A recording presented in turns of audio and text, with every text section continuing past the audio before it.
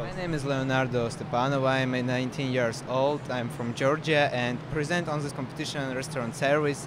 It's so amazing and beautiful uh, skills uh, and uh, I'm studying here very much uh, and get uh, so big experience. I uh, mm, learn many other things on this competition and uh, mm, get a big experience. I'm glad to be here and uh, glad to see the other um, people from other countries. Georgian uh, team is so glad to be here and everybody we do it that what we can.